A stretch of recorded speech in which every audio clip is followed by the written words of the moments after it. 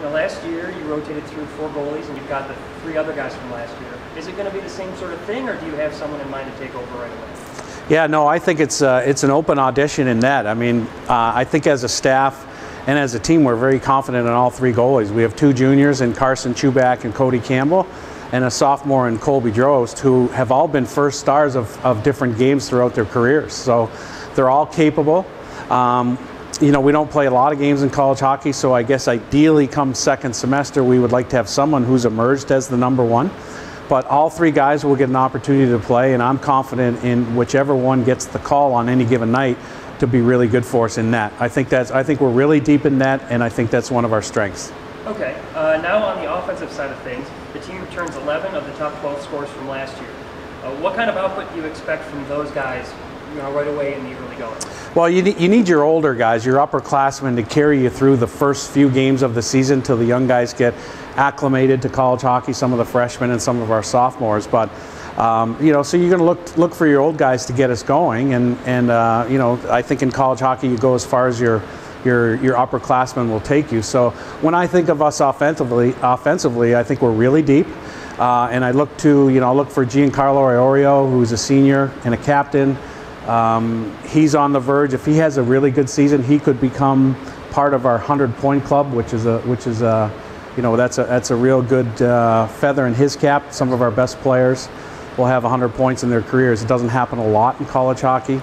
Uh, Mark Sinnett is, is uh, a leader by example, a passionate, hardworking guy that can put points on the board. So I think those two guys as seniors have to come in and lead us.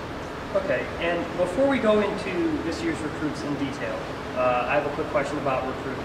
At the end of last season, you had a couple guys sign pro contracts, including Scott Arnold, who signed with the Phoenix Coyotes. Uh, what did those signings uh, do to the program's profile, and did it have any effect on recruiting? Yeah, I think when you have, you know, Scott Arnold was only a sophomore. He just finished his sophomore season here at Niagara and got the NHL salary cap with the Phoenix Coyotes, and that's national news. You know, obviously, uh, both sides of the border, and you know, he was from Montreal, and we certainly do a lot of our recruiting north of the border. So I think that was a big feather. That that was a big help for us. And you know, Chris Noonan having the season that he did last year, leading the nation in a couple of goalie categories and then going with you know signing with the Leafs and, and being assigned to their farm team and they went on a Calder Cup run, a playoff run, so that was a great experience. So that's just some notoriety for our guys, which gets our name out there across uh, both countries for recruiting. And and uh, you know those those guys that you know we had 22 former players playing pro hockey last year around the world, and I think that helps us you know recruit future Purple Eagles. All right, now uh, this year the team brought in eight new recruits, two of which are going to redshirt. Uh, what should fans look for out of the new guys, especially players like Dan Calenda and Hugo Turcotte? Well, Dan Calenda is a big guy. He's 6'4", and I, I think he weighed in at 220.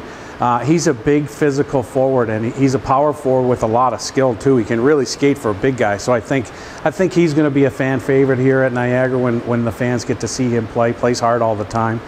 Hugo Turcotte um, has had a great training camp for us and a really skilled, fast, dynamic player and, and, and an offensive guy. So I think he's going to have a seamless transition into college hockey, and we're going to give him you know, plenty of playing time right out of the gate.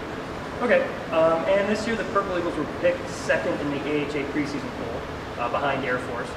I know last year's playoff experience will help the team, but what does this team have to do to take that top spot? Well, I, I think first and foremost, having those experiences and now the knowledge that we gained. You know, we, we it, playing Robert Morris here at home in a two out of three playoff form, uh, series was the first time in the history of our program that we've had that, and it, and it was a different it was a different weekend.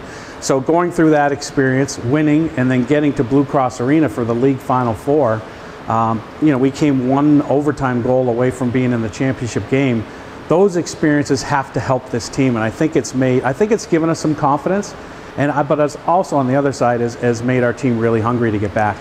Okay, uh, and last question: Bowling Green coming up this Saturday. Uh, can you give us a quick scouting report and what kind of game do you expect? Well, they're they're a really good team out of the CCHA, which is arguably the best conf- you know one of the best conferences in college hockey. And just for us, we're the first game in college hockey across across the nation here this year. So we're really excited and honored to to start off the college hockey season. And Bowling Green has is one of the most storied programs in the history of college hockey on a lot of pros, Rob Blake and George McPhee, who's now the GM of the Capitals, and the, the list goes on and on. So, um, and they had a really good end to their season as we did. They uh, they took down Ferris State in a two out of three on the road, and uh, and ended up losing to Michigan in overtime in their league semifinals. Um, and Michigan ended up going to the Frozen Four. They got an at large bid and went to the Frozen Four. So that shows you what a feat Bowling Green pulled off at the end of the year. So um, really fast, really big physical team, very well coached. Uh, it's going to be a huge test for us to have them here at the Dwyer Arena.